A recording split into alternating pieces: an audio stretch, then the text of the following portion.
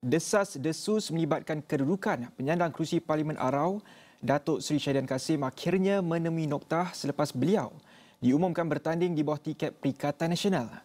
Pengumuman itu dibuat pengurusi PM Perlis Muhammad Syukri Ramli dalam majlis persiaran calon PRU ke-15 PM Perlis di Kompleks PAS Perlis pada Kamis.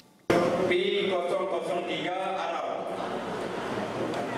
Datuk Seri Syahidan bin Kasim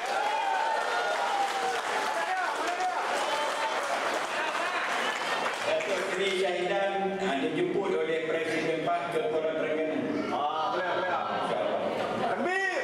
Mungkin Datuk Seri Syahidan ni akan diumumkan di Terengganu bersama calon-calon ah, negeri Terengganu. Malam ni dia balik insyaAllah. Sementara itu, Syukri yang juga Pesuruhjaya PAS Perlis turut mengesahkan beliau akan mempertahankan kerusi Dun Sanglang. Tambahnya, komposisi pembahagian kerusi di peringkat Dun adalah PAS 9 kerusi manakala bersatu 6 kerusi.